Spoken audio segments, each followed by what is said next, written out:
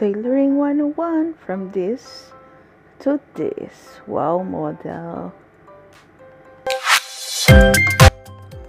So I ordered online this pajama and the shirt is okay but then this super wide and super long pajama is need to alter. So it's indicate 1XL lang pero it's quite so big sa akin. So kailangan natin ng simple alteration. So, this is a simple alteration lang. Puputulan lang natin yung pajama. But then, since it's first time using the sewing machine, so it's an achievement for me. So, this time, um, sinusukat ko yung um, short ko, my daily short, para meron akong idea gaano siya kahaba. And then, yan, gamit-gamit ng medida para magmukhang mananahi talaga, di ba? Pwede namang sukatin directly sa short. Pero, syempre, mas okay pa rin gumamit ng measuring tape. Ayan, sukat-sukat, bes.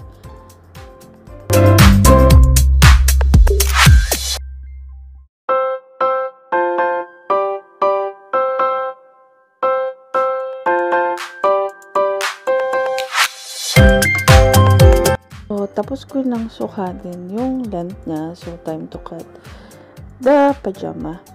So, that's the only scissors na available. So, yun yung gamit ko.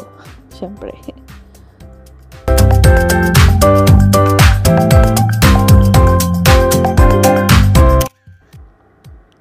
So, ayan. Let's do the other part naman.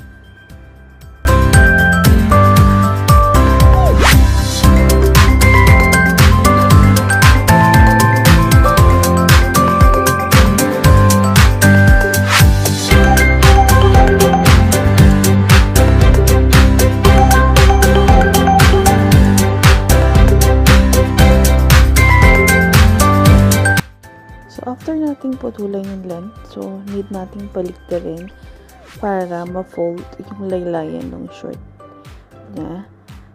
And, ayan. Nalagyan natin ng pin para hindi matanggal yung pagka-fold habang tinatahi siya.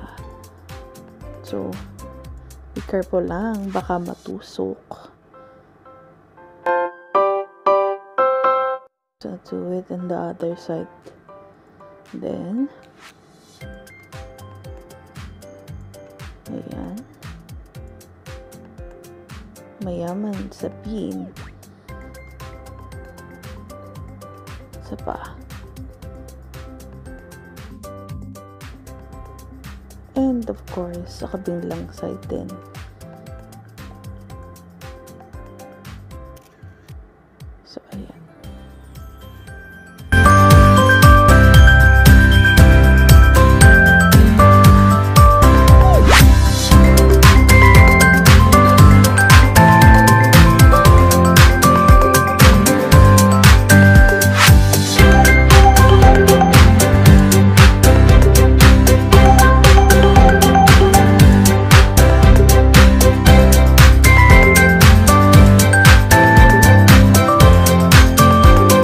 Ayan, tapos na natin i-fold at lagyan ng pin. So, ready na siya para tahiin.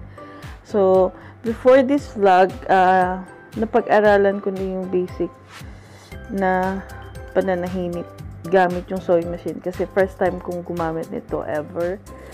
So, this is the gift from Madam Laila kung nanonood kayo ng vlogs ko. And, ayan. Yan pa lang yung alam kong um, way para, paano gamitin yung sewing machine na to. So, so far so good naman and pwede na rin.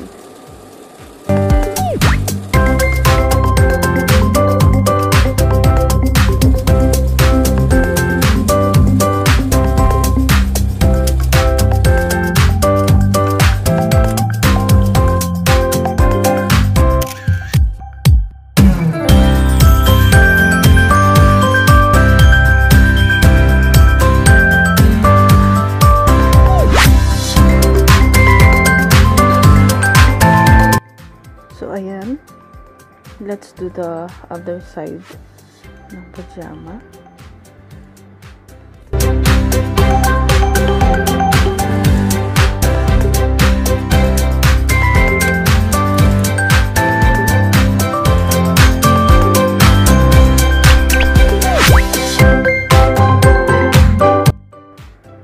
Ayan, tapos na.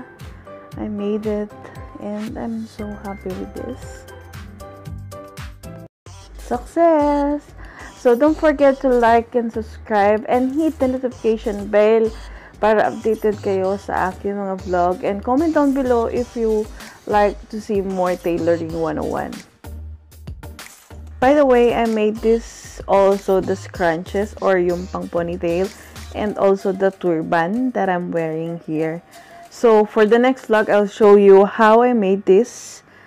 And yeah, thank you guys. Thank you mga ka-aura and keep safe. God bless. Bye.